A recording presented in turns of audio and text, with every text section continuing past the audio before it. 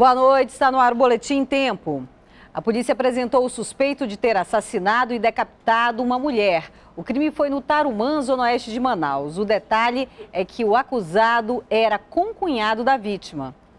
O suspeito de ter cometido o crime é o ajudante de pedreiro, Wilson Conceição. A vítima, Rosiane Pereira, era casada com o irmão da esposa de Wilson. Rosiane estava desaparecida desde o dia 27 de maio. O corpo dela foi encontrado na última segunda-feira, enterrado em um terreno de uma empresa, no Tarumã, na zona oeste aqui de Manaus. O corpo foi encontrado por um vigilante que acionou a polícia. Rosiane foi reconhecida pelo marido. No momento do encontro do cadáver, ele reconheceu algumas vestes de roupa da Rosiane entendeu? E aí automaticamente já fortaleceu a suspeição contra o Wilson.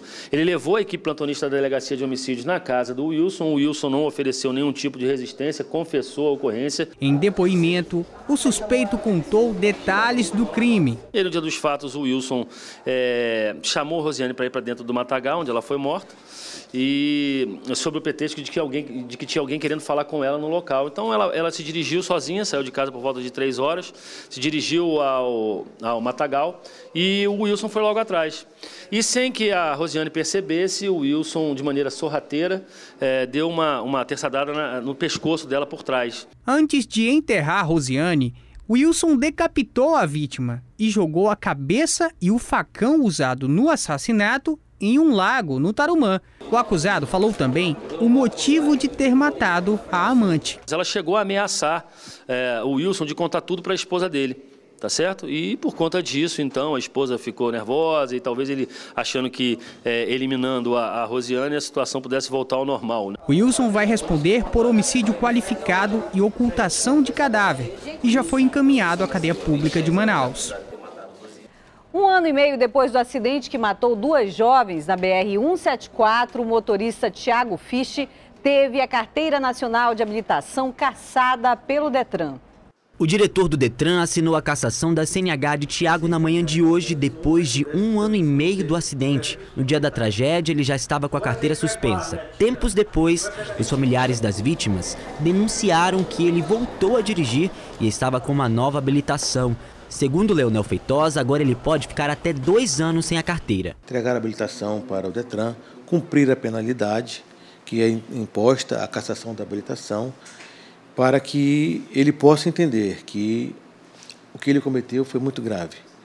É, além de estar com a habilitação suspensa, ele ingeriu bebida alcoólica, dirigiu um veículo automotor e, desse, e dessa gama de responsabilidades por parte desse condutor, originou-se aí uma tragédia. O acidente aconteceu no dia 3 de janeiro do ano passado na BR-174. Ao todo, sete pessoas estavam no carro. Elas vinham de Presidente Figueiredo quando Tiago perdeu o controle do carro e caiu em um barranco. Brenda Braga e Raíssa Brito, ambas de 21 anos, morreram na hora. A suspeita é de que Tiago estava em alta velocidade e teria ingerido bebida alcoólica. Na época, ele tinha 48 pontos na carteira. Em abril, houve uma audiência de instrução e julgamento dos envolvidos.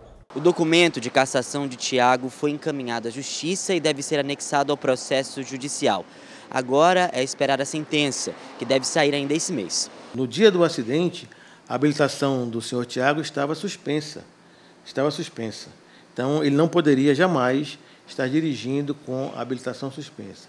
Não poderia jamais estar dirigindo o veículo alcoolizado. E dois homens foram presos acusados de adulterar placas de carros roubados. Os criminosos pintavam os veículos de branco para trabalhar como taxistas. Seu Francisco foi uma das vítimas que tiveram o carro roubado. Corri para tentar salvar a minha vida, graças a Deus salvei. E eles se invadiram com o carro em direção, voltando para o Carrefour ali, e a gente não sabe bem a direção deles, né? Ao todo, quatro veículos foram recuperados. Três deles estavam pintados de branco com adesivos de cooperativas de táxi e um com a placa de Boa Vista. O Endel Silva foi preso enquanto usava um dos carros e se passava por taxista perto da bola do produtor Zona Leste de Manaus. Ele e Jean Castro foram presos por roubar carros e modificá-los. Na verdade, eles pegavam os carros roubados e faziam a adulteração. Tá? O fim maior que eles utilizavam esses veículos roubados era para transformar em táxi. Tá? Eles mesmos é, usavam os carros como táxi e, em alguns casos, alugavam. O carro que foi pego com o Wendel, né, foi apreendido com o Wendel, ele é um Corsa Classic cinza, que ele transformou em branco e ele mesmo usava como táxi. Eles faziam as adulterações em um depósito no conjunto Canarana, zona norte da capital. Lá eles usavam kits para modificar os chassis e os motores dos veículos. As ferramentas que eles usavam foram apreendidas. Surpreendeu a gente pela quantidade de materiais que eles tinham e recursos para adulteração. Se você vê aqui na mesa, eles tinham recursos para remarcação, que são esses pinos aqui. Eles tinham material para lixamento, para polimento e para acabamento. A polícia vai continuar as investigações para saber se tem outros envolvidos. O Endel foi autuado pelos crimes de receptação, uso de documento falso e adulteração de sinal de identificador veicular. Já Jean vai responder por receptação. Eu sou Marcela Rosa e esse foi o Boletim Tempo.